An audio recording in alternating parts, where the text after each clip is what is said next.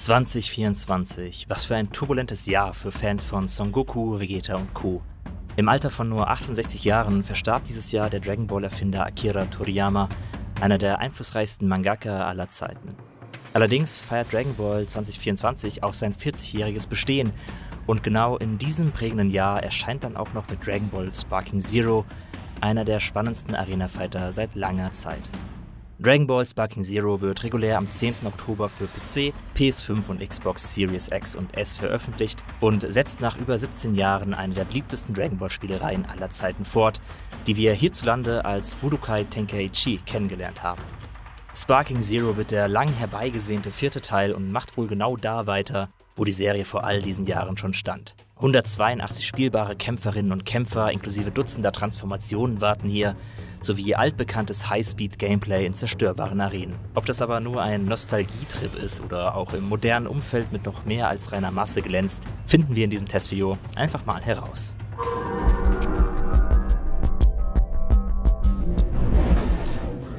Dragon Ball Sparking Zero ist ein Arena-Fighter. Ihr kontrolliert euren gewählten Kämpfer also, wie ihr hier sehen könnt, aus der Third-Person-Sicht und die Zweikämpfe werden in durchaus weitläufigen, offenen Arealen ausgetragen. Das mag für manch Fighting Game Puristen ungewohnt wirken, passt aber einfach optimal zu Dragon Ball. Die Sparking-Serie versucht nur indirekt als mechanisch perfekt designtes Prügelspiel durchzugehen, wie man es etwa von Genre-Platzhirschen wie Street Fighter kennt. Wenn ihr kompetitiv auf einem hohen Niveau agieren wollt, würde ich euch eher zu Dragon Ball Fighters raten.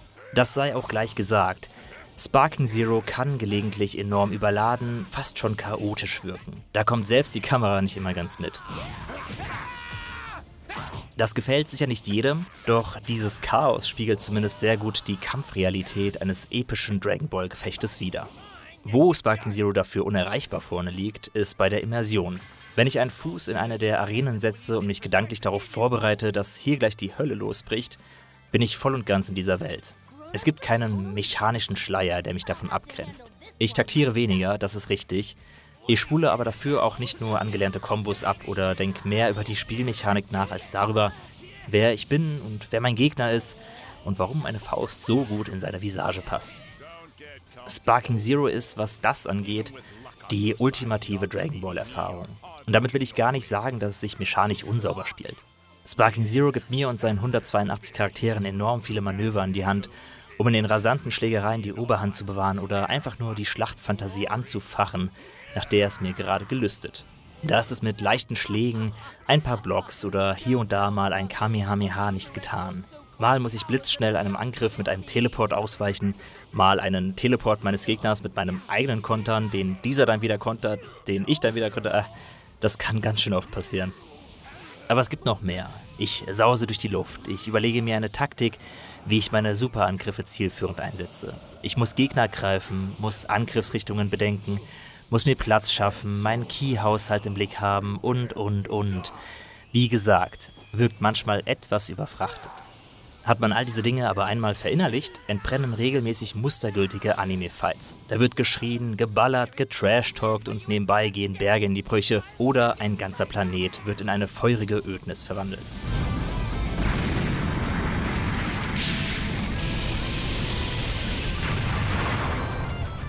Das sorgt für eine relativ steile Lernkurve, da die KI selbst auf mittlerer Schwierigkeit bereits ordentlich vom Leder zieht und Serieneinsteiger frustrierend leicht übertölpelt. Zumal die Tutorials sich recht statisch spielen und nicht besonders gut die Kampfrealität abbilden.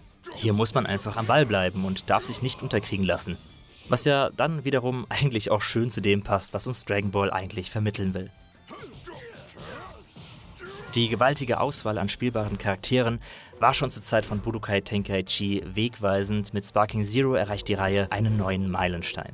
Immerhin beinhaltet der Kader nicht nur wie früher haufenweise Charaktere aus Dragon Ball, Dragon Ball Z, Dragon Ball GT und allen Filmen.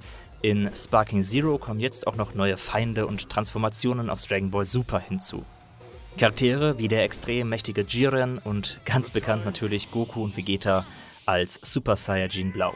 Teilweise sind hier Figuren dabei, mit denen ich nie gerechnet hätte und die eigentlich nur Randerscheinungen beim Tournament of Power waren. Das sprengt zwar die bisherigen Charakterlimits, aber es wurden auch nicht alle Figuren aus den Vorgängern übernommen. Hier erscheint die Auswahl stellenweise etwas kurios, da beispielsweise der wichtige GT-Bösewicht Super C17 fehlt und ich dafür einen namenlosen Charakter namens Freezer Armeesoldat steuern darf. Okay, alles in allem versteht das Entwicklungsteam aber schon sehr gut, was seine Fans von dem Spiel erwarten. Denn Fans von Budokai Tenkaichi oder halt Sparking spielen diese Reihe in erster Linie, um sich ihre Dragon Ball Träume zu erfüllen. Weniger um kompetitiv in den Ranglisten aufzusteigen. Stellt euch Sparking Zero eher wie eine digitale Spielzeugkiste vor, die vor Actionfiguren geradezu überquellt. Was ihr damit macht und welche Geschichten ihr erzählen wollt, liegt ganz an euch. Hauptsache, ihr knallt die Figuren ein wenig aneinander. Man darf sogar in den benutzergenerierten Gefechten eigene Episoden designen, inklusive Siegbedingungen, Event-Trigger, Zwischensequenzen und so weiter. Damit lassen sich tatsächlich kleine kreative Kampfherausforderungen stricken. Ich muss dann etwa herausfinden, wie ich einen übermächtigen Gegner in die Knie zwingen kann oder mit einigen selbst auferlegten Nachteilen zurechtkommen. Alternativ muss ich mir diese Arbeit aber auch nicht selbst machen, sondern lade kreierte Episoden aus der Community herunter und greife damit auf einen nahezu endlosen Quell an neuen Singleplayer-Herausforderungen zurück.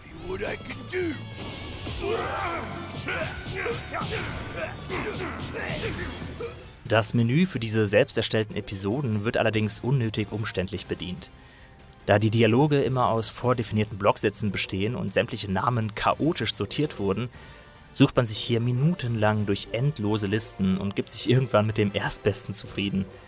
Ein sehr unschöner Nebeneffekt der ohnehin enorm holprigen deutschen Übersetzung. Zumal das auch nicht das einzige Menüproblem von Sparking Zero bleibt. Das Hauptmenü mag zwar richtig toll aussehen, aber es zu navigieren ist die Hölle. Schaut einfach mal, wie lange es dauert, von einem Bereich in den nächsten zu kommen.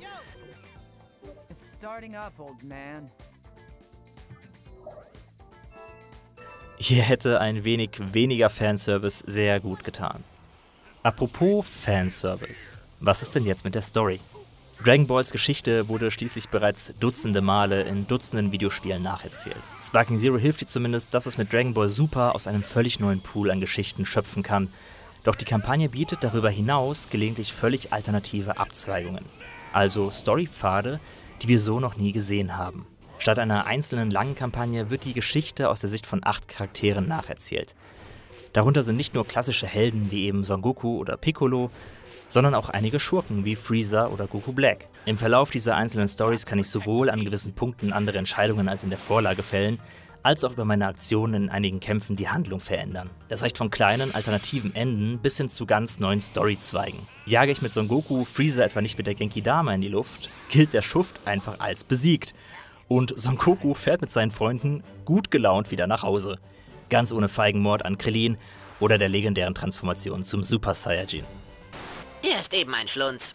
Das erhöht deutlich die Motivation, einige Episoden der Kampagne auch mehrmals anzupacken, Allerdings wird die Motivation gleichzeitig durch die Struktur der Kampagne auch gesenkt. Denn selbst ohne mehrmaliges Durchspielen bin ich schon gezwungen, die Story wirklich ständig von vorne zu erleben und immer wieder das gleiche erzählt zu bekommen.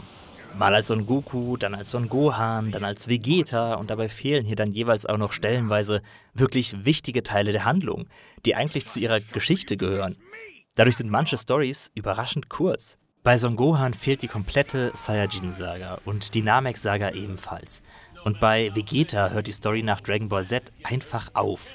Obwohl Son Gokus Rivale gerade in Dragon Ball Super eigentlich als zweiter Protagonist durchgeht. Das ist unfassbar schade. Inszeniert wird die Kampagne manches Mal in wirklich eindrucksvollen Zwischensequenzen,